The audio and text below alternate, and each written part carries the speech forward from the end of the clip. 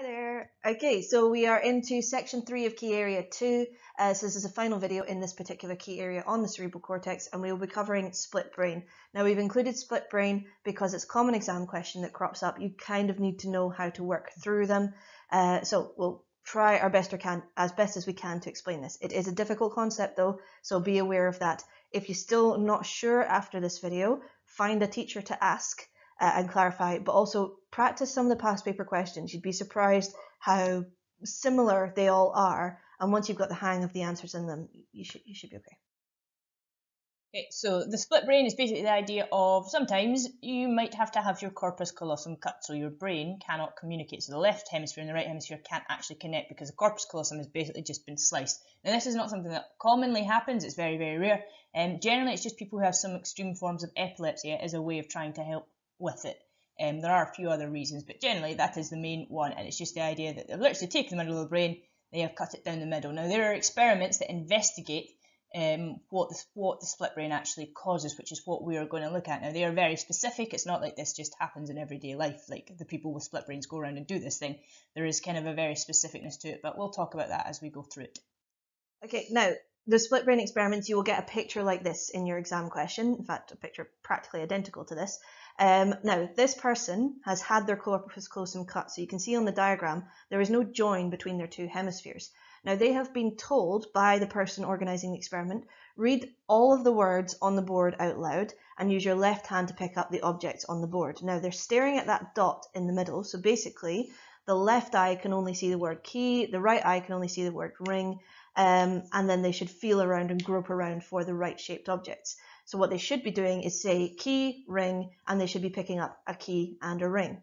But they haven't. This person has their corpus callosum cut and they have just picked up a key and they've only said the word ring. Okay. Now that is one of the side effects of this, and we're going to go into the reasons why. Essentially, there's an extra little help of um, information down there inside the brain. It tells you that speech is on the left cerebral hemisphere and that the left hand is controlled by the right cerebral hemisphere. Okay. Now the key to this is remembering what eye is seeing what. Because remember, your left eye will convey information to the right cerebral hemisphere, your right eye will convey information to the left cerebral hemisphere. So let's go into what's happening there. Okay, so because that centre of speech is in the left in the left hemisphere, so basically the thing that controls what you say is in the left hemisphere of your brain, that means that you can only say whatever you see out of your right eye. Obviously, if your brain can communicate and doesn't have a corpus callosum cut, you can say whatever you see. But if you've got that cut, you can only physically say what your right eye sees because only your left side of the brain is processing those words. So in this case, the right eye will be saying the word, seeing the word ring. So the right eye is seeing the word ring, and that information is going to the left hemisphere. So the speech bit in your brain is saying, well, I need to say the word ring because that's the only word that I can see. It can't say the word key because it's got nothing to do with the left eye because that's the right side of the brain and that's not got to anything to do with speech. The fascinating thing is if you ask this person, what did you, uh, what word was on the left, they'd say, I don't know that they genuinely have no idea. Even though their hand picked up a key, they would not be able to say the word key because their left, their right cerebral hemisphere doesn't have that ability to talk. It's so weird. Right now, let's deal with why did they pick up the key?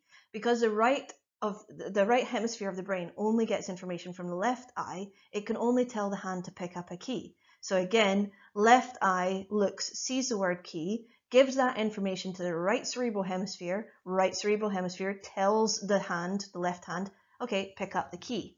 It cannot tell the um, hand to pick up the ring because it doesn't know that the word ring is there. It genuinely doesn't. And this is again where we get into something that's very ununderstandable for a lot of us. Imagine half of your brain knowing something and the other half not. It's it's so so strange.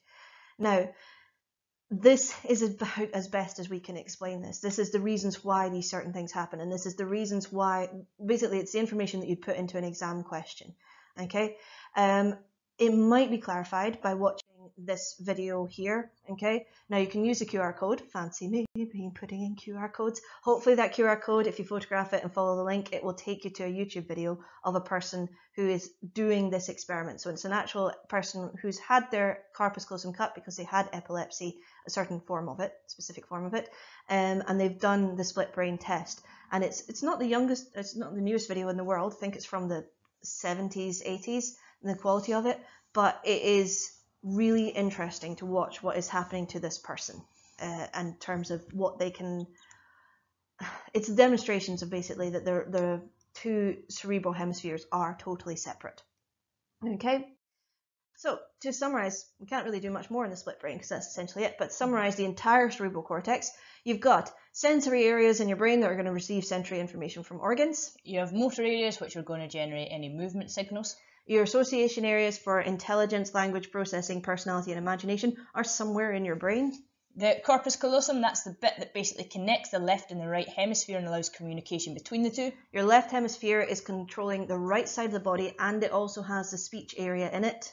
And your right hemisphere controls the left side of your body and doesn't have a speech area in it. It's known as the silent brain, which I think is alternately creepy and amazing at the same Sounds time. like a horror film. It does. Okay, we hope you enjoyed cerebral cortex. Um, this particular bit really does fascinate me. We we normally in class go into a lot more detail in this, but it is just a YouTube channel, so we didn't want to overwhelm you with information on this occasion. The next key area is also really interesting. It's about memory. Um, so we'll be looking at how short-term memory and long-term memory actually work. Um, and you know the kind of mechanisms. How do you get stuff from short-term memory into long-term memory? And it looks a little bit at learning as well. So uh, join us in a couple of weeks for that topic, and we will see you soon.